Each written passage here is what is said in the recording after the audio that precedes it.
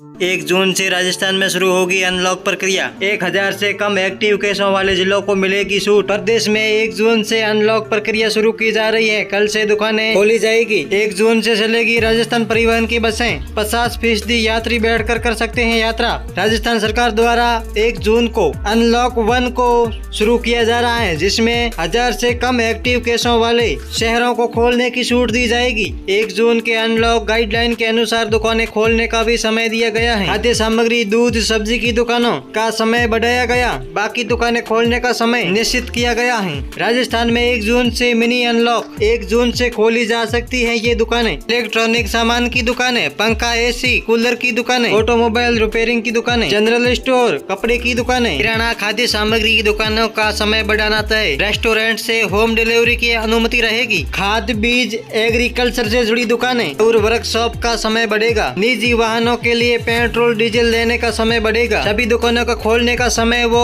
बंद करने का समय निश्चित होगा। यह रहेंगे बंद। School, college, coaching centre, library बंद रहेंगे। सिनेमा घर, multiplex class swimming pool, public park, stadium बंद रहेंगे। शॉपिंग माहौल बंद रहेंगे। बाज़ार में सुनिधा दुकानों को छोड़ बंद रहेगी। होटल, रेस्टोरेंट बंद रहेंगे। शादी समारोह पर पाबंदी जारी रहेगी। धार्मिक स्थल बंद रहेंगे। पब्लिक ट्रांसपोर्ट बंद रहेंगे। अनलॉक प्रक्रिया में दुकानों से जुड़ी ये गाइडलाइन है। किसी भी दुकान में पाँच से अधिक ग्राहक नहीं होने चाहिए। अधिक भीड़ होने पर दुकानदार से वसूली की जा सकती है। प्रत्येक दुकान में सैनिटाइजर की सुविधा उपलब्ध होनी चाहिए। प्रदेश में एक जून से मिनी अनलॉक की प्रक्रिया शुरू करने से पहले राज्य सरकार द्वारा गाइडलाइन जारी करके बताया गया है कि अगर नियमों का अनुपालन किया जाता है तो उस पर सख्त कार्रवाई की जाएगी।